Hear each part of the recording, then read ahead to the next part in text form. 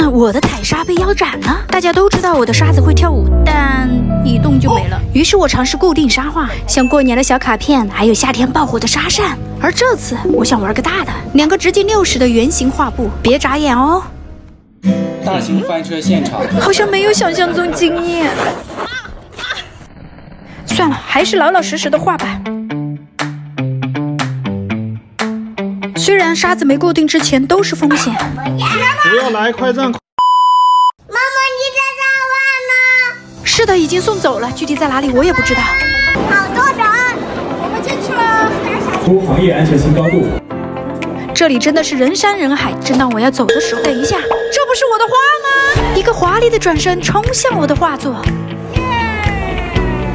热缩片做一辆名爵跑车，把英国的那种浪漫复古、庄严个性一并带到中国。作品取名《传奇之旅》，也是士林沙画的传奇。没有什么做不到的，只要有想法，勇于尝试，一切皆有可能。我做到了，你们呢？